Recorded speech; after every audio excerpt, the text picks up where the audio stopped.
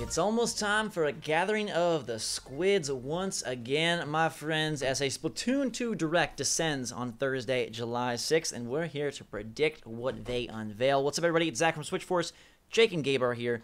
Direct coming our way Thursday, July 6th, 10 a.m. Eastern, 7 a.m. Pacific. What more could they possibly tell us about the upcoming multiplayer fiesta. It's a tricky one, right? Because we know so much about the game. Um, the E3 just happened. There, there was you know a couple of hours of uh, Treehouse presentations about Splatoon. We we were uh, shown Salmon Run in depth. Uh, we we were even shown some of the single player stuff. So what could they possibly have? Um, one thing that I see a lot of people hoping for, and I really hope this is the case too. And you know, you pointed out like, hey, it's probably too late for that. But another test fire would is my like top like what I want the most, really. That would be really cool. And they, they you know, last time with Splatoon 1, they had a direct and then had a test fire that right weekend. after. Yeah, like, yeah. So yeah. they they could do that, but I feel like if it's not this weekend, it's not going to happen because look, we're we're two Fridays away from the game, right? It's the third Friday, so they have two weekends, and I don't think they do a test fire the 15th and 16th. So I feel like it would have to be the 8th and the 9th, the, the 7th, 8th, and 9th. But hey, they could do that, get some more hype going. Um, I mean, obviously we know about six of the maps. We know about a bunch of modes. Um, Jake, we were talking earlier about League Battle. That was talked about uh, a little bit ago, but they could definitely dive more into that, which is sort of this teams of two or four player mode where you compete for two hours to see who can get the most points.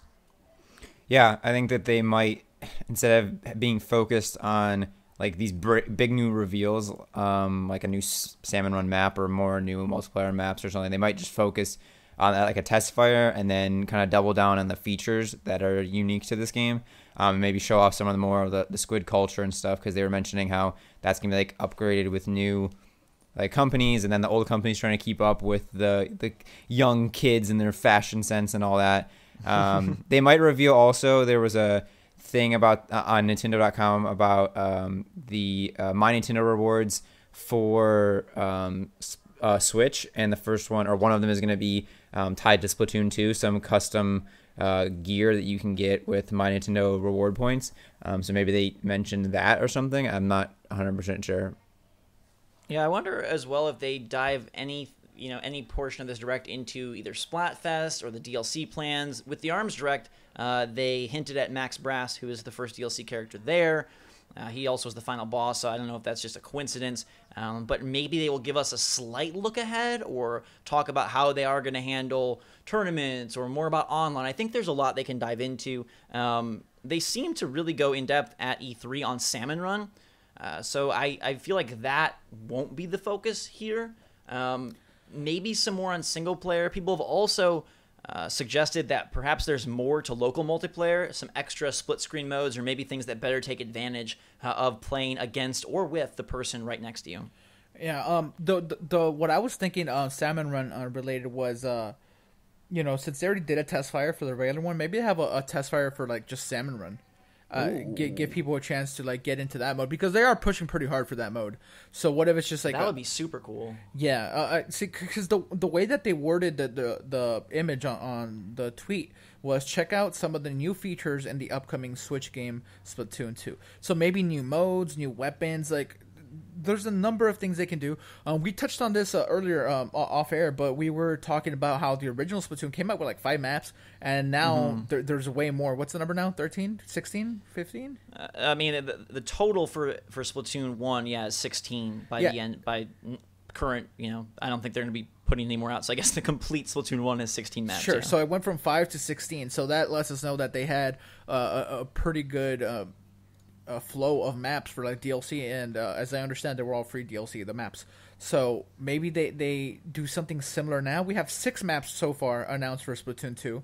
Um, you know, six being more than five, but that's still like a pretty small number. Do we think that they maybe announce four more maps just to even it out to ten, and then we get a bunch of DLC? Yeah, I mean they confirmed that they were they would be launching with more maps than Splatoon one, and I guess technically six, six puts them over than... that, that limit. but I feel like yeah, I feel like they may add a couple more, although they are very committed to that DLC plan, as we've seen with ARMS. So it could be something where they do hold them back uh, to kind of introduce new content as we go. I feel like this will be, you know, the ARMS Direct right before unveiled Kid Cobra and Twintelle and Barq and Byte. I feel like this won't be as many big new reveals, and like Jay, kind of like you mentioned, more uh, explanation and detail driven. I do wonder if they're going to announce more functionality for the amiibo, sort of how they have the challenges tied to the amiibo in Splatoon 1. That's something that they haven't mentioned uh, for Splatoon 2 and would be a great addition. I think they will also spend time on some of the weapons that they've revealed more subtly, uh, some more of the sub weapons, things of that nature, and then also probably like a fashion segment, right? Like going through, like here's some of the cool new outfits. It would be really great if they embraced a little bit uh, of like crossover? Would you like to see like some Switch No. crossover? No, no, no. no, no clothing crossover. Not like a Mario cap. No, no, no, no, no. I, I want I want Splatoon to stay Splatoon, and crossover's cool when when when it makes sense, like Mario Kart and like Smash. Not not for no, not here. No. Guys didn't want crossover in Arms. You don't want crossover in Splatoon two. Well, they have such a rich like culture. This the the squid Yeah, culture is so deep and so rich that I like that they're they're branching it out in its own direction, flushing it out in its own way. That they don't need to cross contaminate. They just can push the boundaries of Squidville.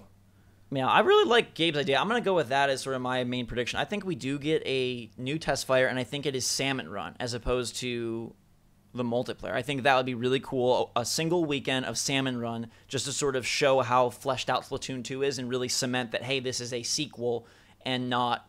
You know, some people initially were like, "Oh, Splatoon 2, it's just going to be you know a cash in, you know, kind of repackaging of the first game." But no, this is a sequel. There's a lot of new stuff there, and let's highlight it with this horde style mode. I'm excited for the day where um, we get to like, keep some of the rewards that we get on on these uh, test fires, because like you know, well, first of all, they're only like a few hours, so maybe not. It doesn't make sense. But uh, and, You and want on- your coins? yeah, like man, let me keep my coins. for That arms, that- nice. yeah, that would have been really nice. Yeah, I, I don't think it's going to be a very long direct. No, um, but no. I- I think the best things we can get uh, are, like we mentioned, a test fire. Um, would you guys like a deeper look at single player, or would you rather them keep that very secretive? And, Yeah, keep it under wraps. wraps. I'm good on that. That one trailer that's out there, or and the presentation um, that that we saw during E3, I'm good with that. We've seen plenty of it, and uh, I, I want to just be pleasantly surprised by the rest.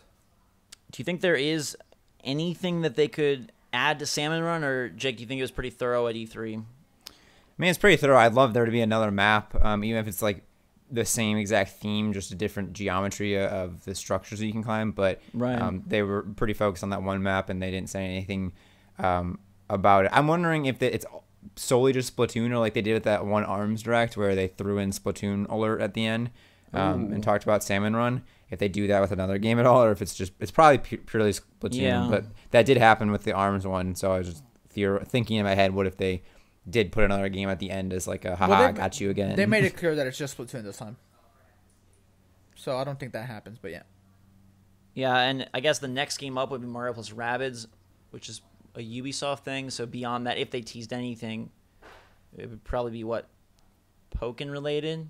yeah, no idea. Pokken tournament. Yeah, I'm I'm super pumped though. Again, Splatoon 2 is probably has been my most anticipated game beyond Zelda. I've mentioned that multiple times, so I'm I'm super stoked to see what they've got going on and to bring things uh, full circle here. We are going to be streaming Splatoon 1 on Friday, this Friday, so the day after the direct, Friday, July 7th. We will be streaming Splatoon 1 at 9 p.m. Eastern, which should be a lot of fun. We will be bringing you uh, some OG Splat action, Squids and Kids uniting. If you've got a copy on Wii U, you can join in. We're going to be doing that the next two weeks to prep uh, for Splatoon 2, unless there is a test fire, in Yeah. which case we'll replace that. If there's That's a test be fire, hilarious. then then we will be playing Splatoon 2 during that slot or whatever slot I guess they, they give us because that's kind of up to Nintendo to be like you are playing it now. But Yeah. uh, plan on the Splatoon 1 stream and we will audible if Nintendo uh, grants us another test fire. Any final predictions, hopes, dreams out of this direct? yeah. Uh, the one I mentioned and, and the one that you kind of like backed up, um, Salmon Run Test Fire. That that's what I want. Um, hopefully they make it happen. Another Salmon Run ma- map. Yeah, Uh, a Salmon Run map would be real good. I, I think, you know, also maybe just diving more into the modes or showing us a mode. I saw some people saying like, "Hey, do we get like a a team deathmatch mode or something that is a little more, uh, you know, straight up kill focused?" But I don't know if that happens. They already have uh, quite a few modes in here, quite a few weapons in here. I think it's just going to be showcasing them more. They have made some modifications to things. Uh, Rainmaker now shoots uh, blaster like exploding shots instead of large ink tornadoes, splat zones. Um, now shows the progress of how much of each area is captured. Tower control has checkpoints for the tower stop. So they are making modifications, and maybe they just kind of detail that stuff uh, more thoroughly and give us just a little hint at, I think a hint at DLC or kind of plans for that. And then the last one I'll mention, which I, I mentioned previously, is I think if Splatfests are a thing, this is when you announce them, and that is like a really nice, feel good fan announce moment. announce the first Splatfest. Yeah, do that. That'd be good. And or if there's a way to expand upon that, because last time it was just you know like two straight votes, like cats, Cats or dogs, dogs, roller yeah. coasters, or water slides. Like if there's some way that they can expand that, we're like dream scenario, right? Like Splatfest winners get like a, a special avatar on their their Switch or something like that. Like that would be incredibly cool if there was a Ooh, way to. do you think they say anything about Callie? Yeah, yeah, where is that's she? a good point. Where's she? She's she's rumored to be evil. So Yeah. do they give us a little info on her her team change there?